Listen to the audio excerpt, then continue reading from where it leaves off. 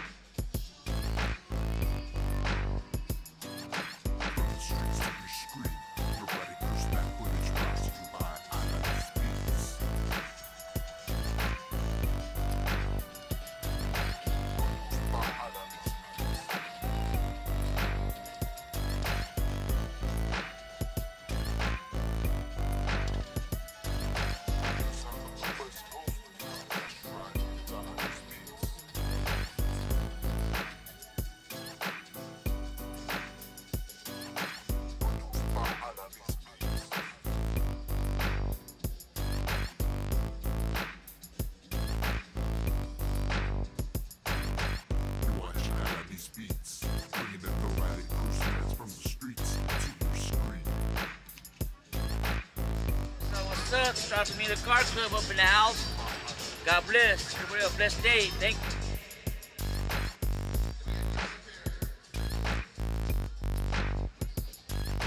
For pictures of our freedom in this country and all around the world. They deserve our respect and they deserve our gratitude. Some were drafted and some were volunteered. And some went to battle and some, some of them didn't come back. And some didn't go to battle, but they stayed ready on call. For some of it was just yesterday, and for others it was many years ago. In the jungles, or the desert, or land, or on sea, they did whatever was assigned to them to produce victory. All of them did their share for a low pay and a little glory. They gave up their lives of being home with their families. Let every veteran be honored today. Without them, there would be no freedom in this country. What they did, we can't repay them, but we can honor them today. So when we see a uniform or a hat that says Air Force, Army, Navy, and Marines, say thank you for your services and may God bless you. And it's an honor. It's an honor that these men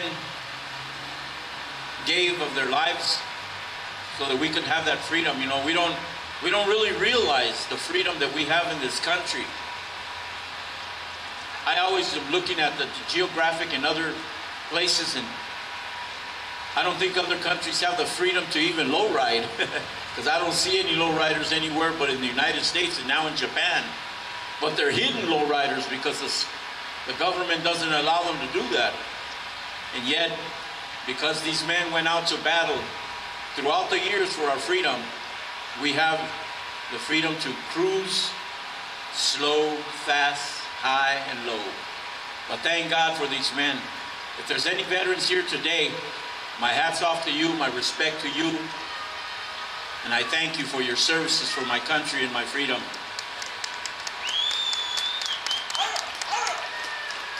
And Father, we pray right now for these men, these men that have left their families and their homes to protect our country, these men that put their life on the line for our freedom. God, we pray that you bless them this morning, God, and thank you for their commitment to give of their lives for our freedom. Bless them, God. Give them long lives. We pray for the families that lost sons and daughters in the military, God, that didn't come home. We pray for those families, God. God, that you would give them good memories, God, and strong hearts to continue to thank these men, the veterans of the United States of America. We give you honor today. In Jesus' name, we thank you guys, and we love you for your commitment to our country. Amen. All right, give it up. Hey, I'm telling you, veterans again, thank you so much for your service. Hey, let's get it going. Come on, Taco.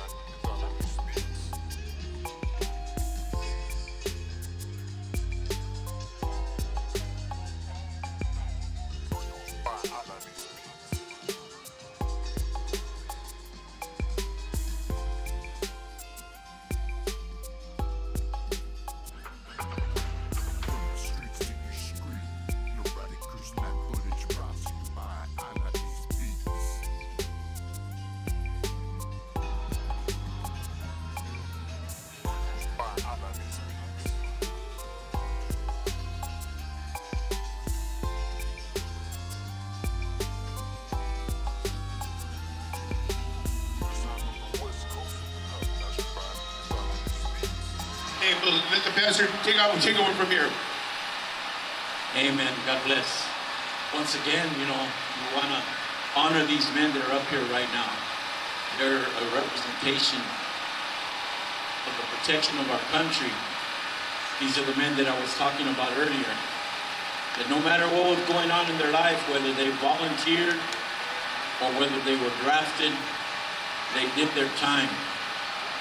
You know, there's a lot of guys in the barrio that did time. Some of us know what it is to do time. Time for the things that we did wrong. But these men did time for something right. They did something for our country. They did something to give us freedom. And all honor is to be given to these men right now. You know, these are men that fought, put their lives on the line. And I can understand in some way, in a bad way, I think, because when I was in the water, I was getting shot at too, for being dumb. But these men did it for our lives, and they came back home safely. Thank God that they're here today. Give them a hand of praise today. Give God praise for they're here today. Amen. And so now we want to do something special for them, and also some of their comrades that have gone on to be with the Lord that maybe are not here today. And we don't want to bring any bad memories to their heart or to their minds, but we want to honor them today, and we want to honor our fallen soldiers by playing this song.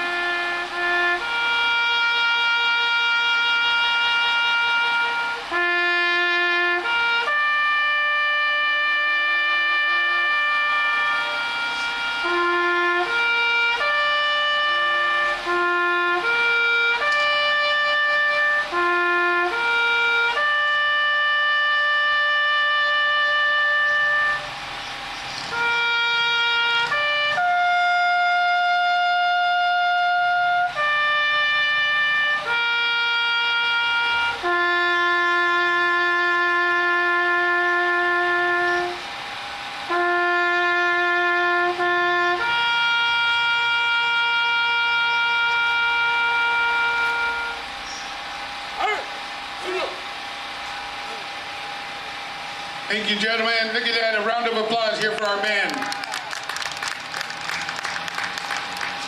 You know, it's a great, great honor. I'm here before you go, you know, it, it's a great honor in what we continue to do here in the park.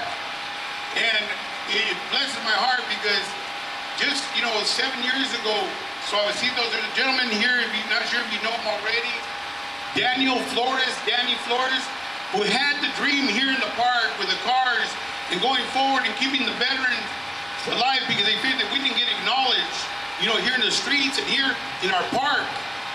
But then he talked to our president, not because of the name Suavesitos, but he asked them, and he asked the family, will you continue this with me? And the heart of Suavesitos says, yes, I'll help you. We'll continue to see your dream come through. And I'm going to tell you, Danny might be gone and gone with the Lord, but I'm going to tell you one thing. Danny still lives here today, you know, through Suavesitos, through Chris, and through everybody that is standing here today.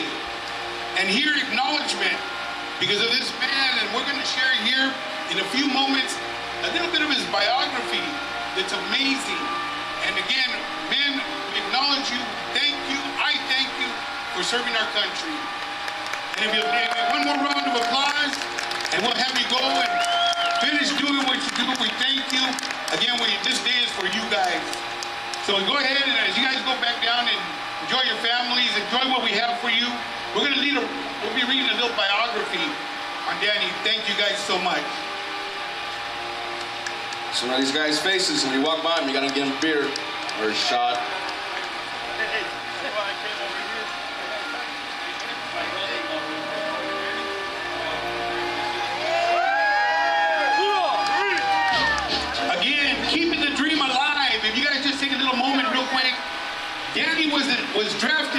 April 6, 1965, and was scheduled to be sent to Fort Ord here in California.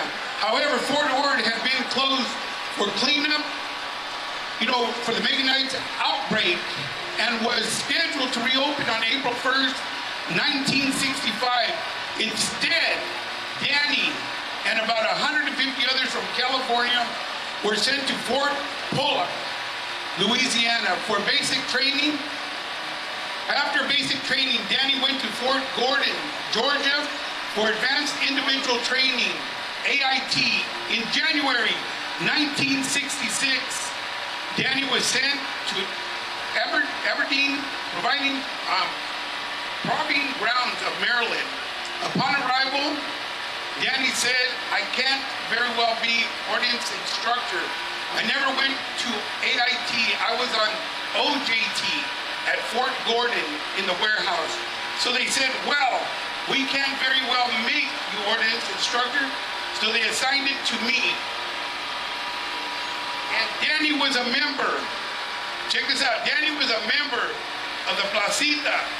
That's what it says here. Danny uh, was a, from the Cycles Motorcycle Club in the 70s and a veteran. And know that his heart was a heart right here in this very park where you sit down, where you're standing up, and we're sharing the love one to another. And us as Suavesitos, the president here, our president Chris and his wife Kathy, said, you know what, we're going to stand the ground and we're going to continue to go forward and help Danny fill his dream and we will continue the legacy on what Danny started. We will finish and then continue going through it with our children. And again, be grateful. And again, members that are veterans, we want to thank you this very day. I'm going to tell you, whether there was one person in this park or 100, we are here and we're going to stand and honor those that went out there, sacrificed their life, and are here today. Even the few that are here and many that are out there. Again, we thank you for your time. Again, give your friends and family a call. Tell them what we're doing here. We'll be here till about 4 o'clock. But more than anything, we want to share the love and share the respect with the individuals with our, with, that we call veterans today. Thank you again. Taco. Four o'clock. Whoa. Four whoa, whoa. o'clock. Spin that, I need to DJ. read my-